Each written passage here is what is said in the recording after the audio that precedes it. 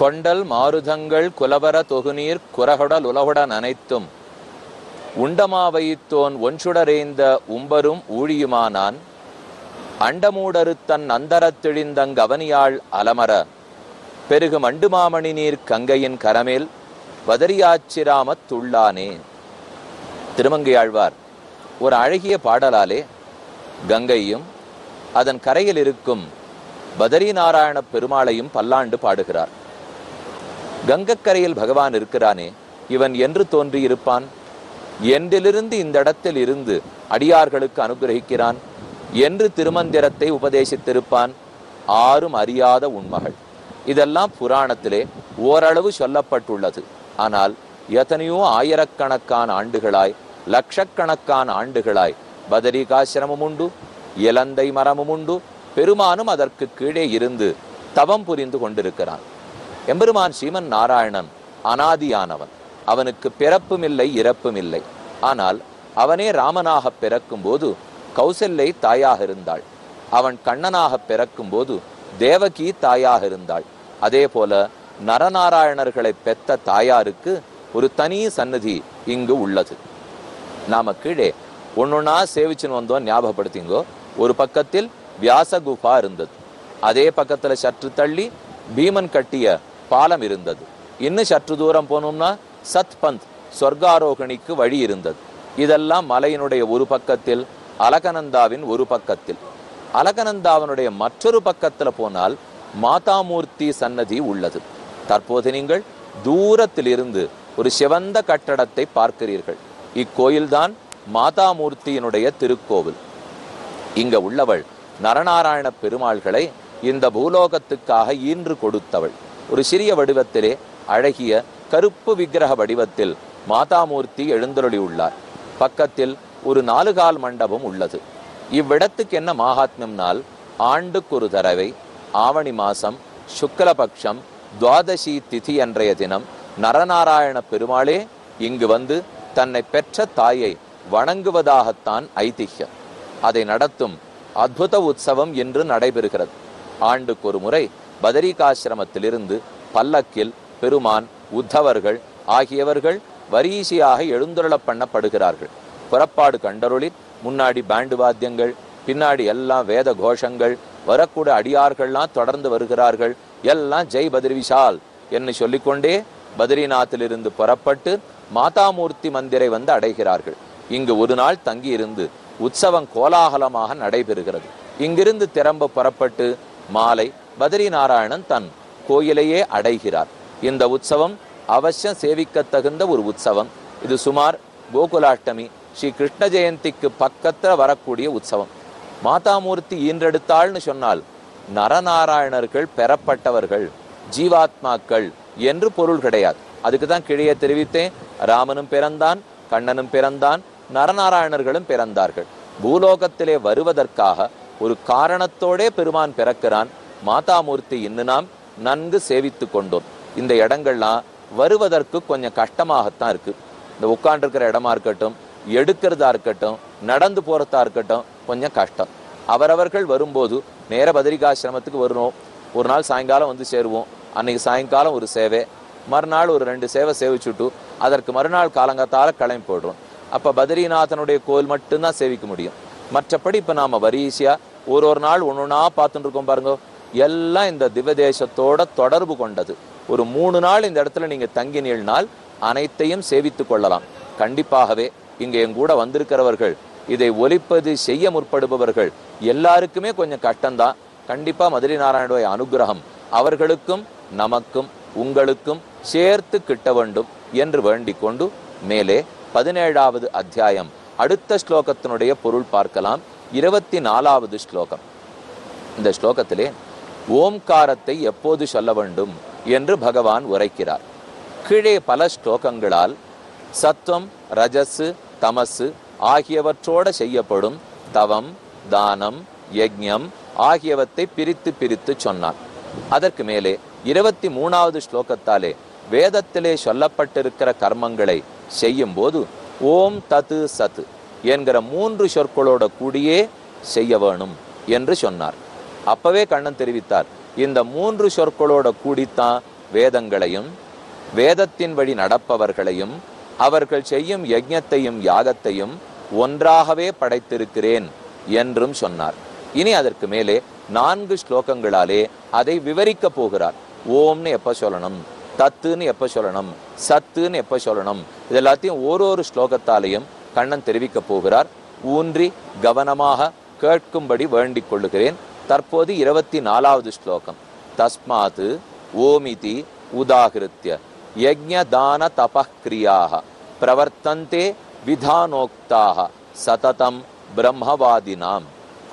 இங்கே பிரம்மவாதிகள்னு சொல்லப்படுபவர்கள் பிரம்மம் வேதமே. பிரம்மவாதிகள் வேதத்தின் வழி நடப்பவர்கள். வேதத்தில் சொல்லியிருக்கிறபடி யஜ்யம் தானம் தவம் முதலானவற்றை செய்யக்கூடியவர்கள். அந்த பிரம்மவாதிகளெல்லாம் எப்படி செய்கிறார்களோ எந்த யாக யஜ்ஞங்களை செய்கிறார்களோ அவை விதானோக்தாக பிரம்மத்தை உணர்ந்து வேதத்தை உணர்ந்து அதன் வழி நடப்பவர்களாரோ அவர்களால் செய்யப்படுறதாகவும் இருக்கணும். அடுத்தது வேதத்திலே சொல்லப்பட்டதாகவும் இருக்க வேண்டும். விதானம் அப்படின்னா வேத விதானம். வேதத்தில் விதிக்கப்பட்டதுன்னு அர்த்தம். வேத விதானோக்தாக வேதத்திலே விதிக்கப்பட்டதாய் இருக்கக்கூடிய யஜ்ஞ தான தபஹா கிரியாக யஜ்ஞம் தானம் தவம் முதலான செயல்களெல்லாம் முதலான கிரியைகளெல்லாம். அப்போ யஜ்ஞம் தானம் தவம் ஆகிய கிரியைகளை வேதத்தின் வழி நடப்பவர்கள் செய்கிறார்கள். வேதத்திலே அவை விதிக்கப்பட்டுள்ளன. இவற்றை செய்யும் போது எப்படி செய்ய வேண்டும்? அதுதான் முதல் சப்தத்தில் சொல்றார்.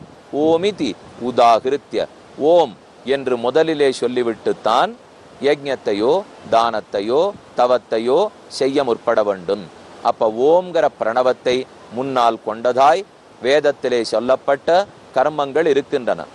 எதனால் அப்படின்னா தஸ்மாத் ஸ்லோகத்தினுடைய முதல் சப்தம் இருக்கு பாருங்க தஸ்மாத் ஆகையாலே அந்த காரணத்தாலே எந்த காரணத்தாலே?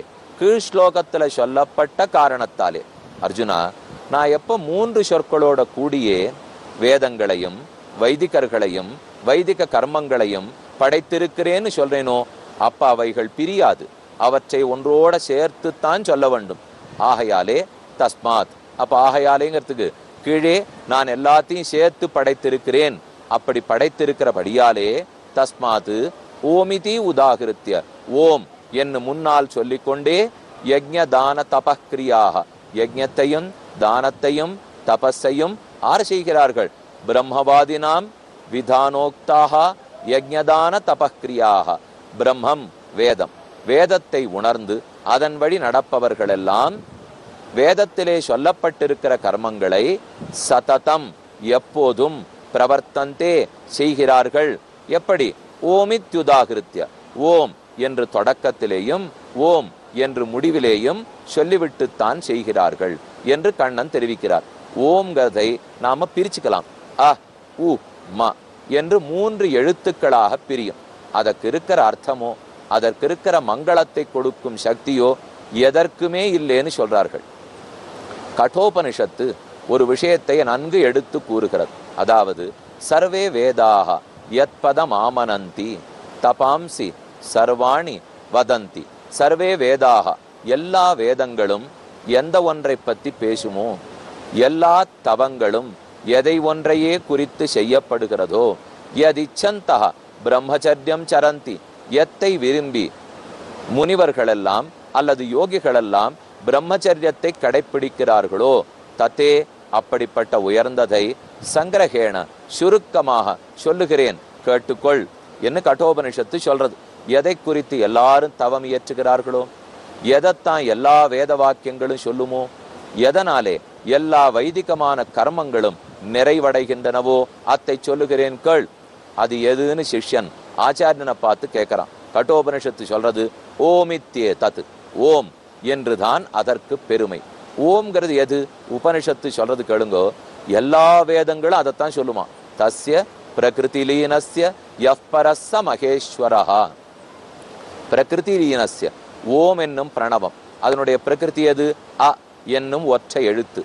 அந்த ஒற்றை எழுத்தாலே மகேஸ்வரனான ஸ்ரீமன் நாராயணன் அவசியம் சொல்லப்படுகிறான்.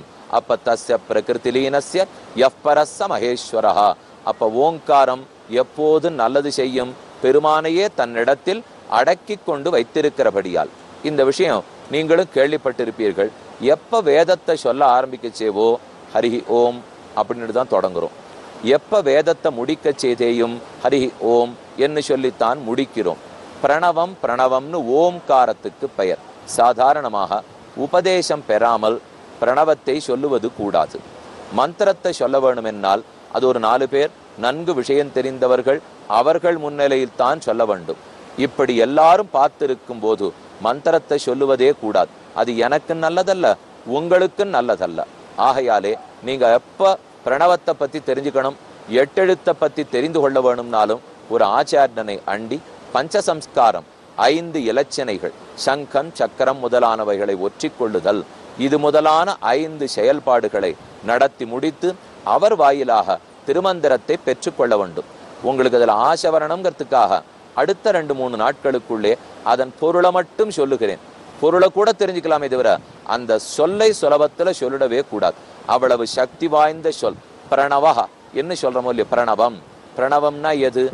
பிரகர்ஷேண ஸ்தூயத்தே பகவான் அனேன இதி பிரணவம் பகவான் எம்பெருமான் சீமன் நாராயணன் ஸ்தூயத்தே ஸ்துதிக்கப்படுகிறான் அனேன இத்தால்। இந்த ஒரு எழுத்து சொல்லாலே பகவான் நன்கு தோத்திரம் செய்யப்படுகிறான் அதனால இதற்கு பிரணவம்னு பெயர் என்று பெரியோர்கள் கூறுகிறார்கள். அந்த பிரணவமாகிற ஓங்காரத்தை சொல்லிட்டுதான் தொடங்க வேண்டும்.